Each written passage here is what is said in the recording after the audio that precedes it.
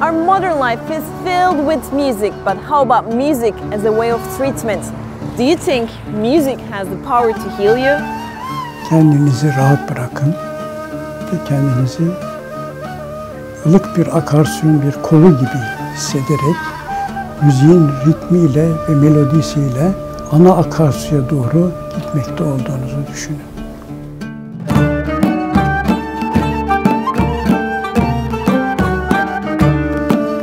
Music has been around since the beginning of mankind, existing even before languages developed. Its effect on people has also been used to develop therapeutic methods in which music is used to address people's physical, emotional, cognitive, and social needs. This is called music therapy. Here in Istanbul, doctors and therapists are using music therapy to revive comatose patients, to ease dementia, and treat many other illnesses. İnsanlığın e, dili daha keşfetmeden önce müziği keşfinden beri başlıyor. Dünyanın her yerinde müziğin sağlıkta kullanılması. E, başta şarkılar söyleniyor beraber. E, sonra doğaçlama yapılmaya başlanıyor. E, milattan bronz çağına e, dayanan uygulamalardan bahsediyorum. E, ardından e, o doğaçlamaya işte bir iyileştirici, e, baksı, şaman tabir edilen bir iyileştiriciyle beraber yapılıyor.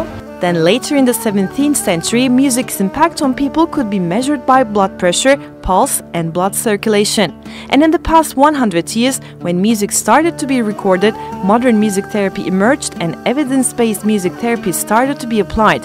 In terms of traditional Turkish music therapy, which has Turkic and Islamic roots, famous scholars like Al Farabi and Avicenna wrote about how makams could cure certain illnesses a thousand years ago. O arada işte e, Avrupa'da e, içine şeytan girmiş diye insanlar zincire vurulmakta veya yakılmakta, çeşitli işkenceler görmekte, içindeki şeytan çıksın düşüncesiyle.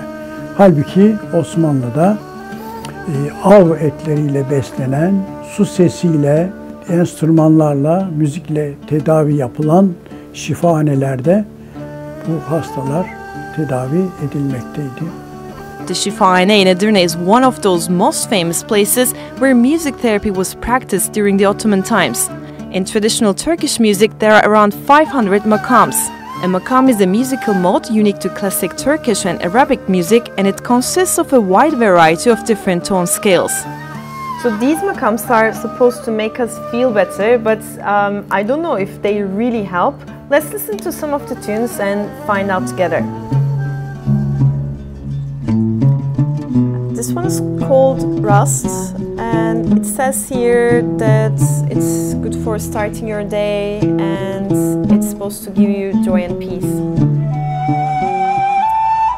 This is Hijaz, and apparently it's good for brain and bones and has the ability to actually clean toxins out of your body. And the last one is Husseini. It's apparently beneficial for the heart and can cure discomfort in your legs. So of course this was very short but some lucky patients in some of Istanbul's hospitals get to enjoy music therapy after they have surgery and we'll go now meet two doctors who practice music therapy to their patients at ICU units.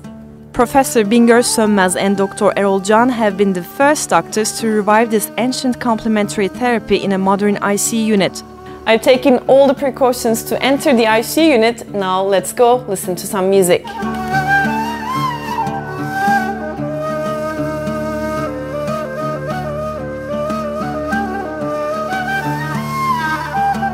One of the most important aspects of music therapy is that it's tailor made, meaning that it's specifically designed for the needs of the patient.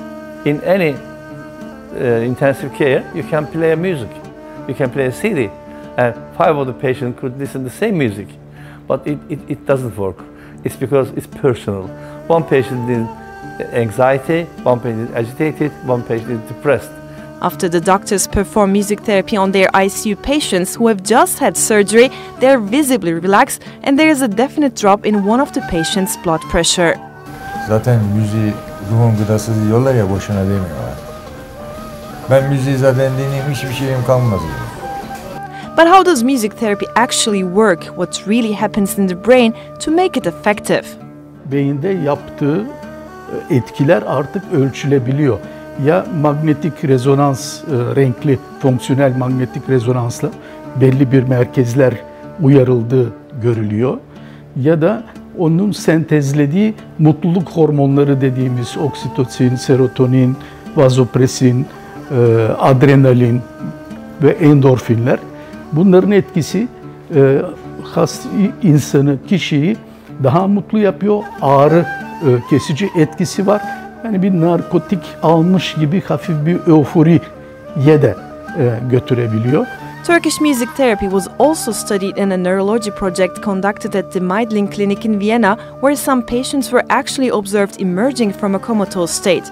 But it's not just used in ICU units with quick applications, it's also used as a long term treatment model for those who suffer from dementia and for children with autism or speech impediments. Music is a wonderful tool to uh, open up people. I ask each person, each uh, client, and uh, one of them said, I come uh, here to Chapa from Pendik, which is very far away, um, uh, using public transportation. And he said that I usually miss my stop. I uh, get, get off like after two stops, three stops when I notice that I am too far. Uh, and throughout the uh, sessions, uh, once he said, uh, I'm not missing it anymore. There are more than 300 courses around the world which offer music therapy education as a university or higher degree, and there are more than 20,000 music therapists who practice music therapy based on their local cultures. uh, we always respect the complementary medicine, not alternative medicine. Medicine doesn't have any alternative. That's complementary medicine.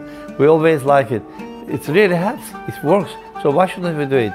So, what do you think? How important is music in your life? And would you ever consider giving it a chance to let it heal you?